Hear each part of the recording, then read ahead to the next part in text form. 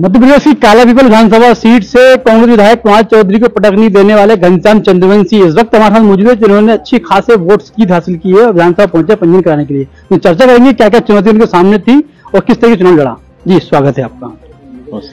क्या क्या चुनौती आपके सामने थी? कुमार चौधरी भी एक युवा चेहरा वहाँ पे थे और काफ़ी अच्छा चुनाव नहीं लड़ा और आपने काफ़ी मशक्कत के बाद वहाँ जीत हासिल की हाँ नाम तो बड़ा था और कांग्रेस के लोग कहते थे कांग्रेस के बड़े नेता कहते थे कि इनके आगे अगर मुख्यमंत्री को भी लेके आओगे हम्म। तो ये चुनाव नहीं हारेंगे। लेकिन हमारे कार्यकर्ताओं की मज़बूत टीम थी जिसने उनको पटकनी दी है और भारतीय जनता पार्टी का जो काम था उस काम पर वहाँ पर जनता जनार्दन ने मोहर लगाई। कांग्रेस हमेशा झूठ बोलती आ रही थी और पिछली बार के वचन पत्र को भी उन्होंने पूरा नहीं किया और इस बार भी जो वचन पत्र आया था वो भी झूठ सिद्ध होने वाला था इसलिए जनता ने उनकी झूठ को नकारा है और भारतीय जनता पार्टी के काम को स्वीकारा है।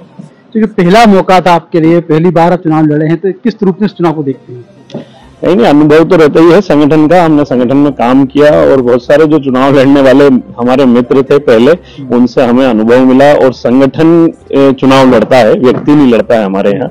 तो संगठन ने हमें जिताया शीर्ष नेतृत्व ने इतनी बड़ी ज़िम्मेदारी दी है तो शीर्ष नेतृत्व की ज़िम्मेदारी भी बनती है कि वो चुनाव निकाले तो उन्होंने पूरी टीम लगा के और हमें वहाँ से चुनाव निकाला।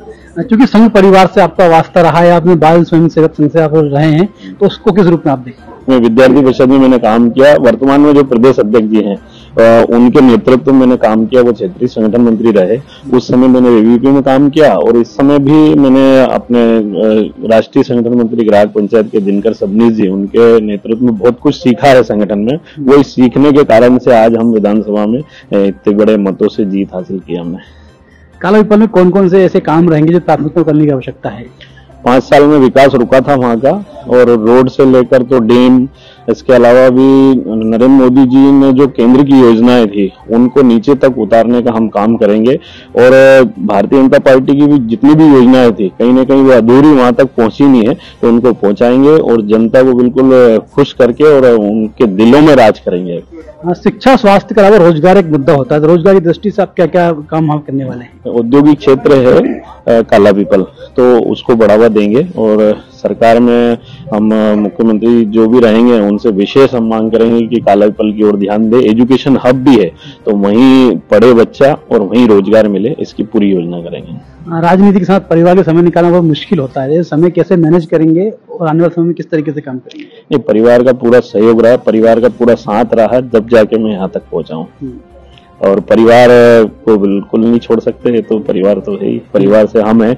लेकिन विधानसभा मेरा एक बड़ा परिवार हो गया है तो मैंने उनको आश्वस्त किया है कि जितनी मेरे परिवार की मैं चिंता करूँगा उससे ज़्यादा मैं विधानसभा के क्षेत्र के प्रत्येक व्यक्ति की चिंता करूँगा। राजनीति के अलावा जीवन यापन करने क्या क्या साधन आपका उपलब्ध? अभी तो खेती है तो खेती में से चलता है सब कुछ।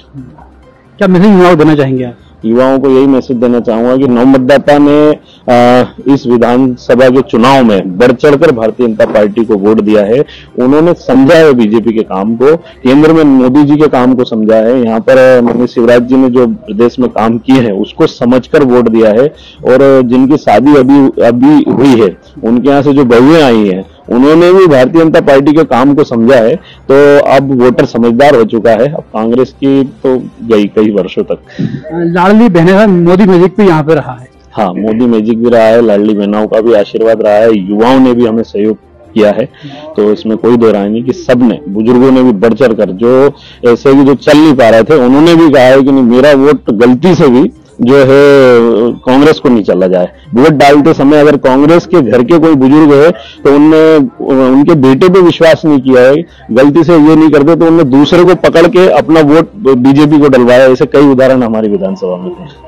ऐसे कई उदाहरण सामने है कि लाडली बहने मोदी म्यूज़िक भी इस बार चुनाव के अंदर कहीं देखने को मिला है। यही वजह है कि घनश्याम चंद्रवंशी अच्छे खासे वोट से वहाँ से जीत कर आए हैं।